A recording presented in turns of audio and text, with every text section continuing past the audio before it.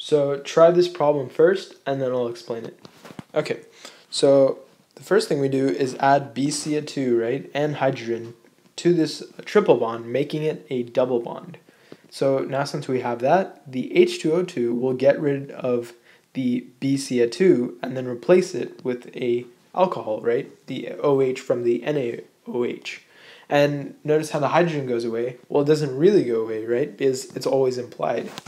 So going on, um, when you have a double bond next to an alcohol, it actually doesn't stay like this, right? Because after you add H plus, um, it would add right here, and so you have the positive charge right here, and the positive charge would form resonance with the oxygen.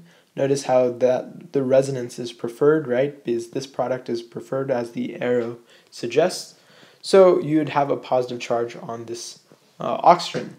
So this one's preferred. So you take that product, and then another water, what it will do is get rid of the hydrogen, right? Because the positive charge is not stable on oxygen. So the water will come by uh, take off the hydrogen, and the hydrogen's electrons will go to the oxygen, therefore creating a carbonyl. And in this case, it would be an aldehyde because this one that it has a hydrogen right here.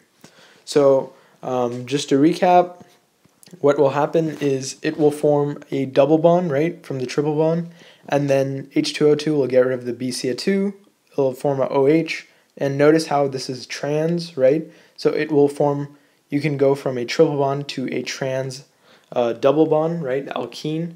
Um, it will, after you add H+, plus, it will undergo resonance to form this product, and this product will get attacked by a water and therefore form your final product, which is a carbonyl. So I hope that helped, and thanks for watching.